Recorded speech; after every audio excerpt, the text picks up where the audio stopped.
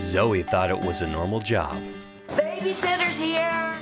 This is, um, Zoe. Isn't she? It's fine, Bruce. One night, We'll be home tomorrow afternoon. Hey, you want to play a game? Dragon. What's dragon? I don't know that one. three kids, Dragon? Yep. Close your eyes. Open them. Whoa! I like you. Oh, I like you too. and one angry surprise. Save some for Zoe. Hey. But when the boy next door gets out of control, Do you know anything about this family?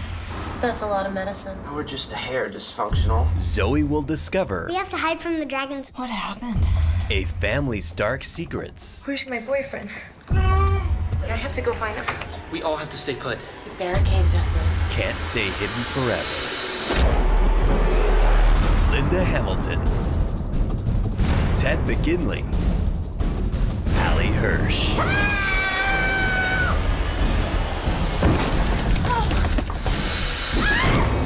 You are a really rude house guest. Go get help!